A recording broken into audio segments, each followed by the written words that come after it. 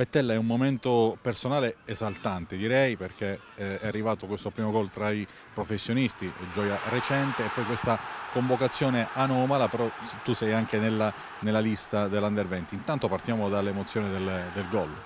Sì, sicuramente eh, è un'emozione indescrivibile che come ho detto appunto già dopo la partita rimarrà dentro di me per sempre. E sono molto contento anche della convocazione appunto nazionale però la mia priorità sono i playoff, quindi spero di andare il più avanti possibile col mio club, con la nostra squadra, per poi vedere nel proseguo dei giorni come si svolgerà anche il Mondiale. Ecco, finché il Pescara sarà dentro i playoff tu resterai sicuramente a Pescara? Sì, sì, sicuramente sono qua. Invece tornando al gol, cosa hai pensato? Poi tra l'altro l'hai realizzato sotto la curva nord Marco Mazza. Sì, sinceramente prima di andare a letto il giorno prima ho detto Minchia, pensa magari se segnassi sotto la curva e del giorno dopo si è realizzato, quindi è stata una gioia inaspettata voluto da tanto però e quindi sono molto contento di tutto ciò e spero che nei, nei prosegui dei giorni e degli anni possa togliermi altre, altre grandi soddisfazioni. C'è qualche messaggio che ti è arrivato no, di complimenti per questa tua prima gioia, eh, non so, tuoi compagni di squadra oppure dal tuo club di appartenenza, l'Atalanta, non so?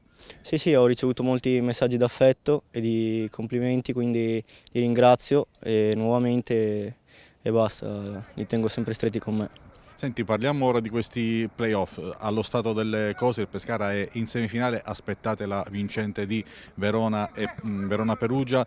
È un bene non aver affrontato il Cittadella, che era la squadra che aveva battuto il Pescara entrambe le volte in campionato.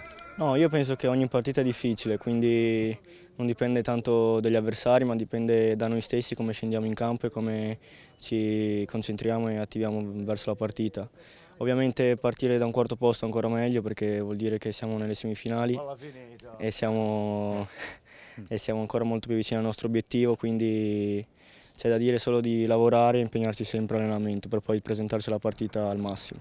Senti, da giovane apprendista, quando tu sei arrivato comunque eri nelle gerarchie probabilmente il quinto centrale, adesso hai inanellato una serie di gare da titolare, ti senti effettivamente cresciuto e, e maturato?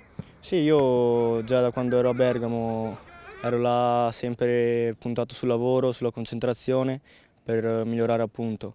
Poi sono venuto qua e ho, avuto, e ho davanti a me grandi esempi, quindi ho potuto apprendere ancora molto da tutti loro per poi mettere in pratica tutti i loro insegnamenti, tutti gli insegnamenti soprattutto del mister in campo e togliermi grandi soddisfazioni. C'è la possibilità di insomma, restare a pescare in prestito per un'altra stagione? Sicuramente il mio appunto, contratto è questo, rimanere qua altri l'altro prossimo anno, quindi si vedrà ancora, però io sono qua con la testa qua a pescare.